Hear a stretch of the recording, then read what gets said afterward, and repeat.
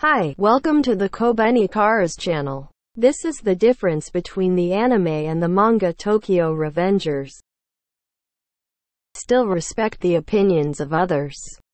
I really like the atmosphere of the snowfall in the anime version. The cold vibe is really felt.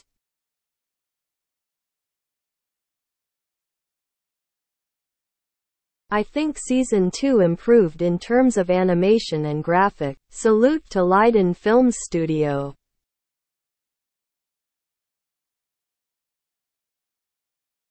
I really hate Taiju's stupid face he's an idiot.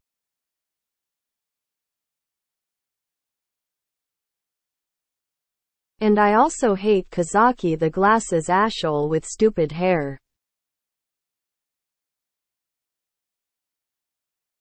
To be honest, I haven't read the Tokyo Revengers manga yet. I don't know what will happen next so do you think the manga is very good?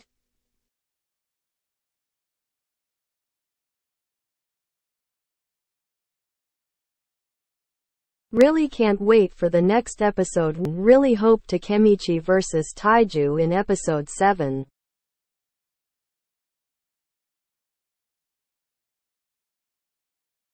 Thanks for watching.